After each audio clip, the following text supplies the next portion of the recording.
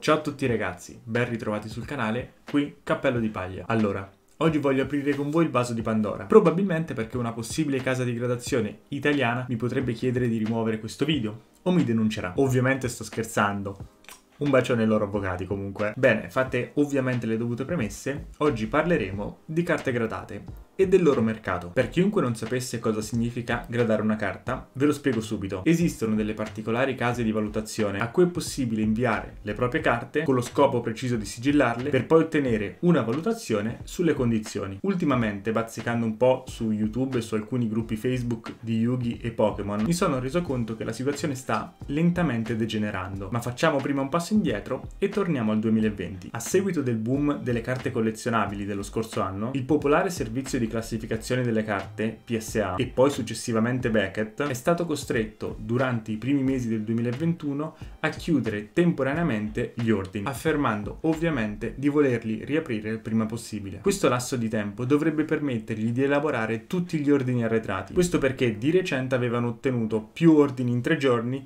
che negli ultimi tre mesi. All'inizio di marzo l'azienda aveva deciso anche di raddoppiare i prezzi, sperando così in un possibile rallentamento cosa che però non è successa. Questa esplosione ha spinto molte persone, soprattutto e sottolineo che non hanno a che fare assolutamente con questo mondo, ad interessarsi solamente al lato economico. Molti hanno iniziato ad investire in carte collezionabili. Vi faccio un esempio stupido. Ciccio Gamer 89. Per quanto continua a dire che è appassionato del mondo Pokémon, utilizza ogni 3x2 la parola investimento. Forse, citando Antoshow, ha preso troppo sul serio la parola trading. Nel corso di quest'anno e di quello scorso, questa passione si sta trasformando in una valuta alternativa che porta le persone a comprare roba vintage per poi rivenderla di più. E, scusate, piccola informazione, dovevate comprare la roba prima quando ovviamente il mercato di Yugi e il mercato di Pokémon avevano ancora prezzi accessibili. Io, essendo giocatore e collezionista da una vita, ho visto il mio album passare da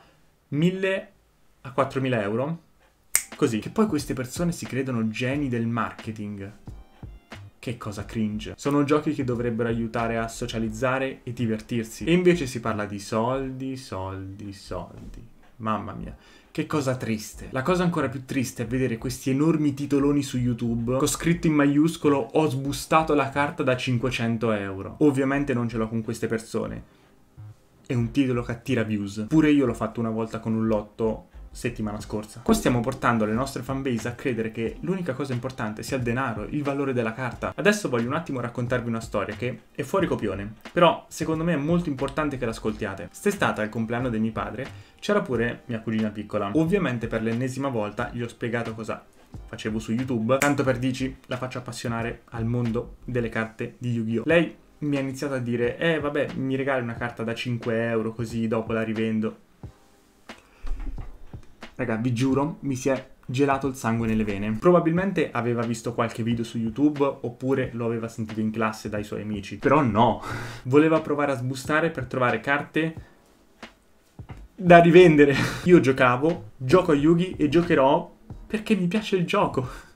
Del lato economico me ne sbatto altamente i coglioni. Se la mia collezione valeva un terzo, io stavo comunque qua a farvi questo video parlandovi di quanto è bello questo gioco. Probabilmente dovremmo fare tutti un passo indietro e metterci una mano sulla coscienza. Cioè, noi stiamo influenzando dei possibili giocatori futuri. Non credo che questo sia il modo giusto di andare avanti. Altro elemento che va molto a braccetto con i soldi e quello che abbiamo detto prima su PSA riguarda il gradare le carte per aumentarne il valore e quindi ovviamente ottenere un riscontro economico. Considerando i tempi e i costi molto sostanziosi nel caso si voglia usufruire dei servizi di PSA e BGS, molte persone stanno investendo i loro soldi in case di grading di cui ovviamente non faremo il nome, vendendo poi queste carte come chicche da collezione. Ovviamente non sono qui per fare polemica, ognuno può buttare i propri soldi come vuole, però vorrei soffermarmi su alcuni punti. Per quale motivo queste carte dovrebbero avere un prezzo maggiorato? Ovviamente non ce l'hanno. Queste case nate da pochi anni non hanno influenza globale e quindi nel momento una persona voglia vendere a uno straniero una carta gradata, lui l'acquisterà a prezzo normale, gli farà schifo, la spaccherà e la manderà probabilmente da PSA o BGS. Ovviamente tutto questo accadrà nel momento in cui la persona che compra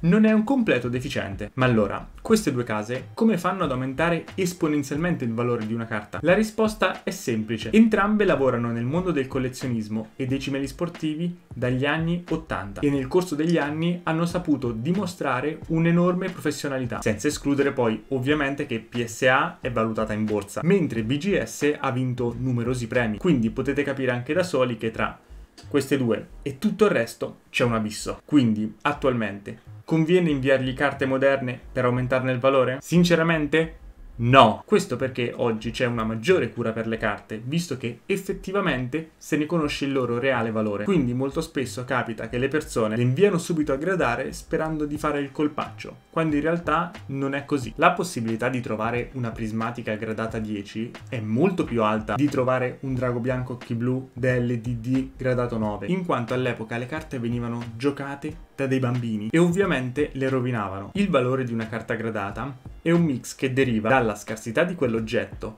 unito poi alla valutazione che l'azienda gli dà. Charizard, set base, gradato 10, non esiste. Un 9 è stato venduto per 300.000 dollari. La rarità di questa carta deriva dal fatto che la maggior parte di essa è finita in mano a dei bambini che, come detto prima, le hanno rovinate, cosa che invece non è capitata a qualsiasi Charizard degli ultimi due anni, perché puntualmente venivano sbustati e o slivati o gradati. Quindi, essendo carte pack fresh, avevano ricevuto tutte una valutazione dall'8,5 in su, cosa che ovviamente in futuro non porterà ad un aumento del prezzo della carta. Cosa molto importante, il prezzo di una carta gradata è influenzato moltissimo dal voto. Considerate che con un 7 la carta è valutata NM, quindi se ne invierete una e otterrà una valutazione inferiore non avrà alcun incremento Caso contrario succederà se avrà una valutazione superiore. Ovviamente non vi sto dicendo che gradare una carta è totalmente inutile, vi chiedo solo di farlo con un senso logico, scegliendo ovviamente la casa di grading più consona a quello che volete ottenere, perché come vi ho già spiegato non sono tutte uguali. Inoltre scegliete bene anche cosa mandare, perché capisco una carta a cui siete affezionati,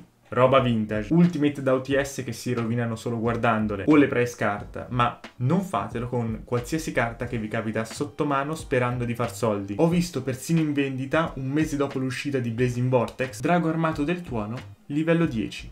Secret. Neanche prismatico. Raga, drogatevede meno, per favore. Mentre per tutti gli altri, nel caso voi foste finiti in questo mondo solo per fare soldi facili, e ovviamente non ve ne frega un cazzo di questo mondo, andatevene a fanculo e trovatevi un lavoro vero. Grazie. Ragazzi, voglio concludere questo video con una frase. Il collezionismo e i giochi di carte in generale sono una cosa seria. Non sono una puttana per far soldi. Bene, mi sono tolto un peso da dentro. Detto questo, spero che il video vi abbia interessato perché ci tengo tanto e voglio sapere qua sotto nei commenti un vostro parere. Inoltre, qua sotto in descrizione, se ci passate, potete trovare tutti i miei social per seguirmi ovunque e il gruppo Telegram, se vi volete unire e fare quattro chiacchiere. Quindi ragazzi, state easy e noi ci rivediamo settimana prossima, sempre qua, con un nuovo video. Ciao a tutti!